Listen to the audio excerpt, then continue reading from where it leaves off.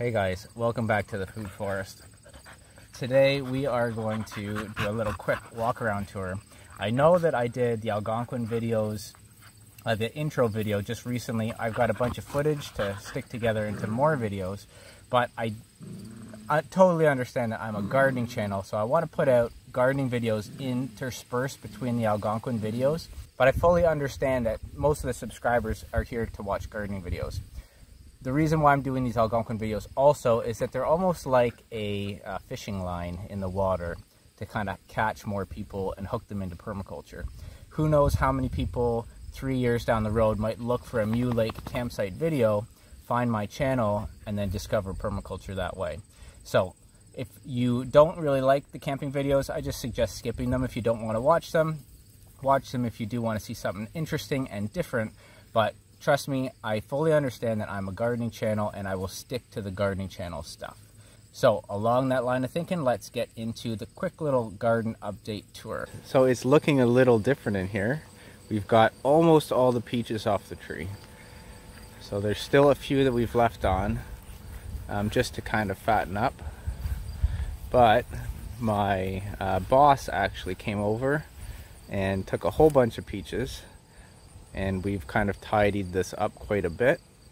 So that's kind of good news. It's one less job I have to do and we have got a bunch more peaches now to process. So last year you might remember that I mentioned my boss ordered too much mushroom compost for his gardens around his house and he thought of me and asked me if I wanted to take any and then when I showed up to take it refused to take any of my money for it. So this year I turned that compost into peaches and returned the favor.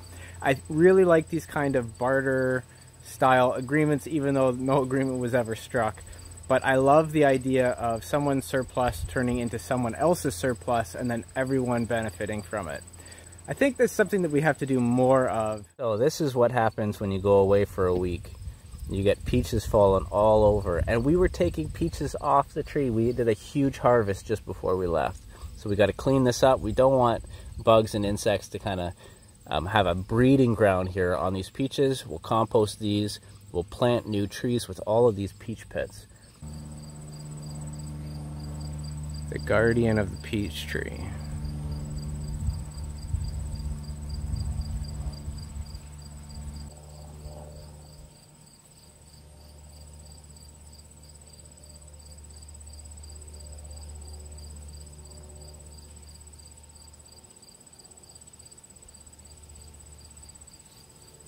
William's been busy making peach muffins, so this is batch number two of those. And then we've got all of these peaches here as well to still process. Our freezer's full of frozen peaches. Our dehydrator is full of peaches. And these are some Red Star peaches. This is one of the peach trees right by the pond. So I haven't tried these yet. They're not quite ripe yet. Um, but this is a variety, whenever I, someone asks what kind of variety of peaches you have, I don't mention this one because I haven't tried it yet. So hopefully that'll change I'll be able to tell you guys how good or not these red star peaches are. But they're quite big. Like that is, that is a big peach. So here are the dehydrated peaches. So we've been running trays of these and these were cut to about um, half an inch to three quarters of an inch thick and then laid down and they make great candy. So this is when the kids want a snack, they're at least eating a dehydrated peach instead of some kind of gummy bear or something like that. So common question I get is, you know, how much does the food forest cost to do? Guys, food forests make you money. Think about how expensive frozen fruit is in the grocery store. We've got two four, six, seven bags of peaches here. I think we have another one upstairs. We've got um, kale, we've got mushrooms, we've got chili peppers, we've got more scape, uh, scapes and more scapes, and blackberries here. And this is in probably the last two weeks that we've done this. We have all those peaches upstairs still. We've been eating 20 peaches a day. Peach muffins, peach cobbler. We gave hundreds and hundreds and hundreds of peaches away. Um, it's just money coming out of our ears. and it's not necessarily that I'm going to go sell all this stuff. It's just that I don't have to buy any of this stuff. Like how expensive is frozen fruit in the store for smoothies? It's it's so expensive. So make sure you start your food forest because you know these peaches I bought these trees for $25 each and one bag of those peaches is probably close to $25. Like I said, honestly, this is a quarter of what we've had so far um, in the whole entire yield. And that's just peach trees. We're coming into grapes and apples and pears. There's just so much food. Raspberries, strawberries. None of that is here right now. So tons and tons of food. So while we were gone on the Algonquin trip, my mom actually came over and helped process some of the peaches. Lucy looks like she's getting some off the ground there. Um, and our freezers are now full of peaches and we've got another batch in the kitchen there to still process. So it has been a very, very bountiful year this year, specifically for peaches. So now we're looking around and trying to figure out what the next phase is going to be of the food forest. We've got sea buckthorn coming in, so the berries are all starting to get orange.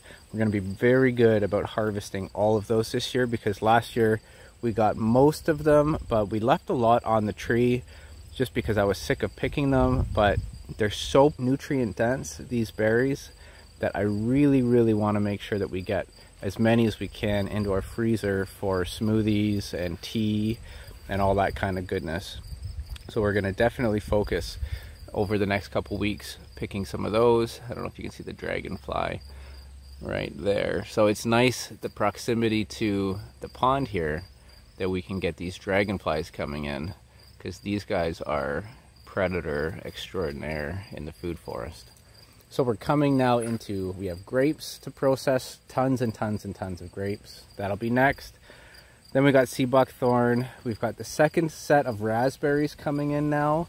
And we've also got strawberries that are probably gonna start in the next month or two. We've got pears coming. Currants, I believe, are done. We have elderberries here, if I just back up. So actually this is something I have to do right away if I want to get any of these, is we have to get these elderberries off the tree and into syrups and process these. There's not too, too many of them this year, but the birds will absolutely take every single one of these if I don't get them. I love sharing my food with the birds, but I do like to get some of it. That is done, we have got apples. So these, I don't know how many of these I'll realistically get. I'll probably keep a bunch in the forest at the bottom for the deer to kind of just keep the deer from popping up in the wintertime eating our trees. So what I'll typically do is allow all the apples on the trees at the bottom of my valley, which is down there. We'll leave those all on the trees for deer food and hopefully that keeps the deer from pushing into our property. Now this is a neat observation here as well. A few weeks ago, maybe a month ago, I talked about how I leave tent caterpillar nests up on the trees. If a tree gets covered in them, I'll remove them, um, but I'll always leave some. And this tree only had pretty much this section of a branch with, it was just teeming with those tent caterpillars. Anyone who's seen them, they know there's thousands and thousands of them in their nest. Well, I'm trying to break that pest cycle by leaving some up to allow the predators to kind of keep them in check. And I'm trying to avoid these swell shrink cycles of pests where if I were, for example, to remove all of the tent caterpillars, then there's no predators around to eat them. And because I get no predators, then the next season when the tent caterpillars take off and go crazy, I have no predators to keep them in check. So we've been trying to leave some up and if you notice, there's almost no damage on the tree. Like some of these leaves right where the tent caterpillar nests are, they got destroyed. But other than that, this whole entire tree is totally fine. And in that video, I mentioned that this tree can handle a little bit of pest pressure. And I think this is a really good observation to make that Sometimes we see a pest and we think of eradication right away. And it's really important that we just take a step back and we let balance happen. And you can't have balance without the pests. There has to be some yin and some yang. You can't just have all yang, guys. So here is Wildflower Hill. It's looking almost the same as the last time I showed it. The Rudbeckia really flower for a very, very long time. We've got Queen Anne's Lace in flower now, and it's kind of nice to watch this evolve over time, see what different things are flowering.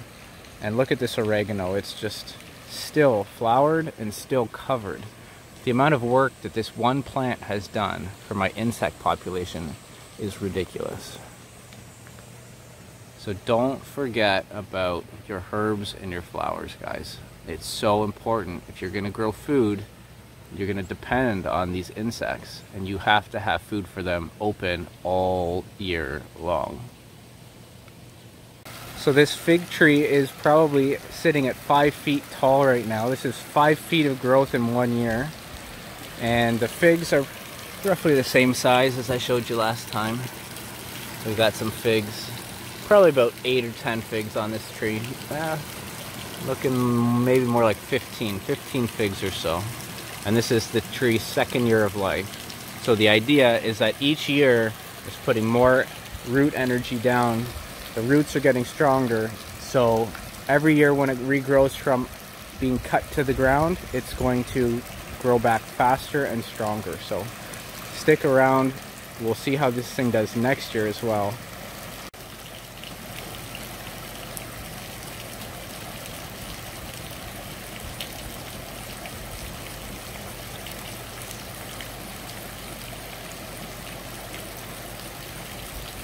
You're thirsty, eh?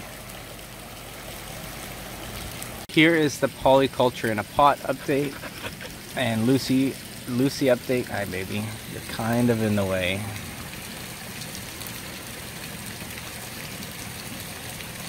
We went to Algonquin for the last week, basically. Hasn't been uh, watered at all.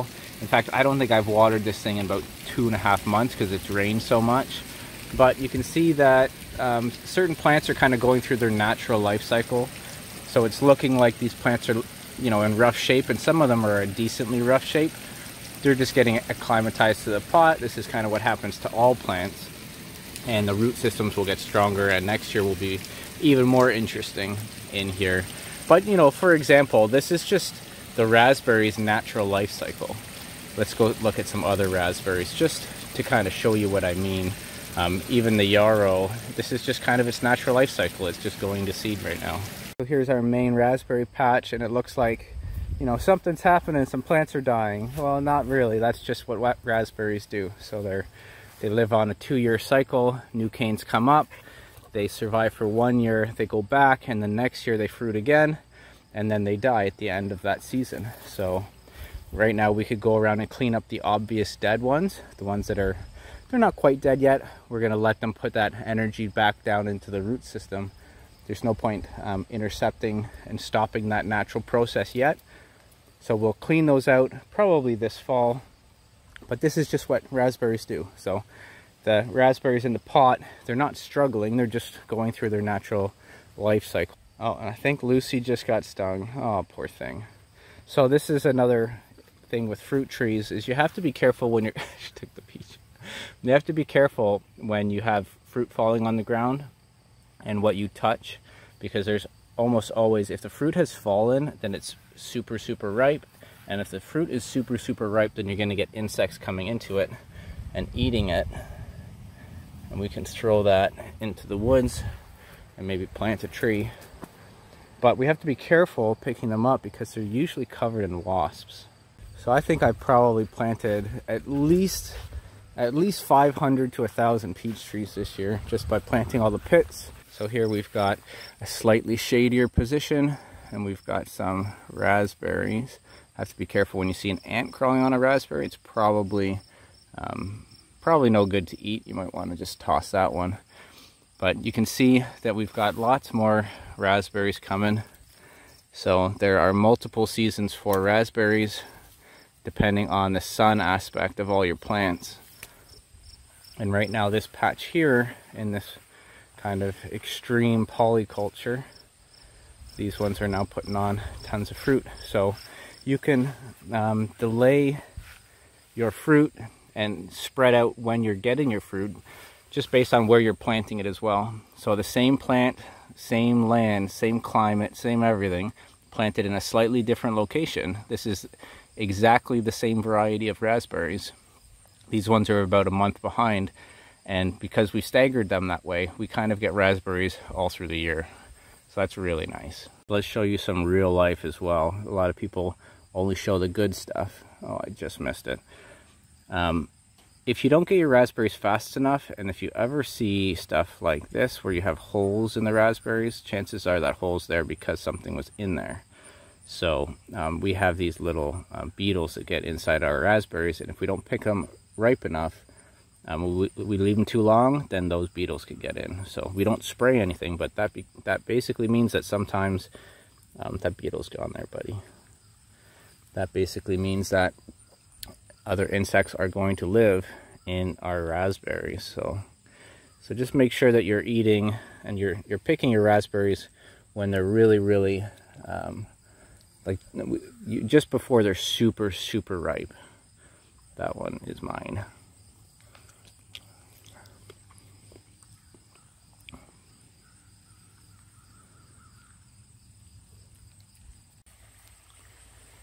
So melons are doing pretty good. We've got some tomatoes coming up here.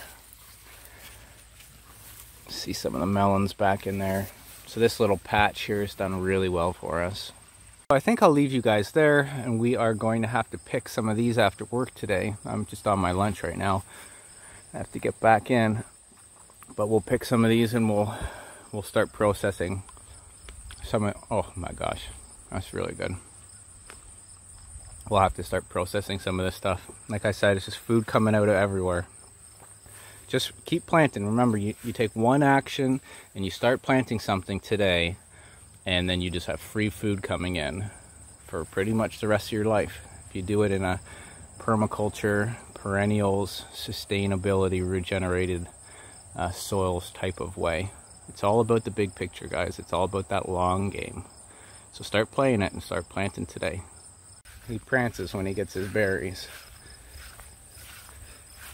Little berry monster. Hey?